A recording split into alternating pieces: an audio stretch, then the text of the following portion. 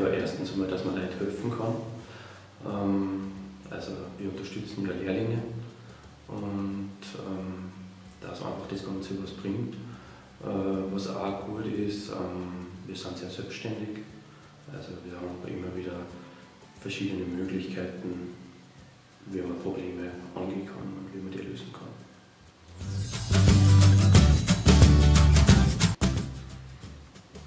Einschränkungen bringt eigentlich keiner mit sich, also man ist sehr flexibel. Der ist ein bisschen komplizierter. Ähm, ich bin in die Handelsakademie gegangen. Handelsakademie war dann nicht ganz das Richtige für mich und ich habe dann eine Lehre zum Bürokaufmann gemacht. Ich habe in der Landesberufsschule See und ähm, dann habe ich aber festgestellt, so direkt Büro würde ich jetzt doch nicht. Ich würde mir